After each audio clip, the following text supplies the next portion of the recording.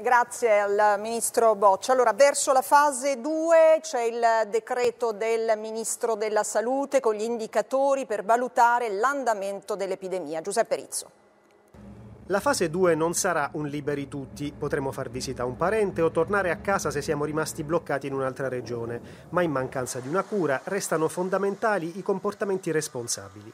Se il virus riconquista terreno si rischia un nuovo lockdown. Il ministro della Salute Speranza ha fissato le regole per tenere sotto controllo l'andamento dell'epidemia. Sarà come dotare ogni regione di una squadra di sentinelle che tengono d'occhio il virus. Se in una certa area ricomincia a circolare in modo preoccupante, lanciano un allarme che attiva procedure d'urgenza. Le sentinelle sono in realtà algoritmi, dati incrociati che ci danno l'andamento del contagio e dicono come e dove intervenire. Tre gli indicatori, monitoraggio dei casi, cioè la capacità di ogni regione di avere sotto controllo la situazione dei contagi, ad esempio nell'RSA. Il secondo è la capacità di accertamento diagnostico, territorio per territorio, il numero di tamponi che si è in grado di eseguire, il personale a disposizione, il tempo che trascorre tra i primi sintomi e la diagnosi.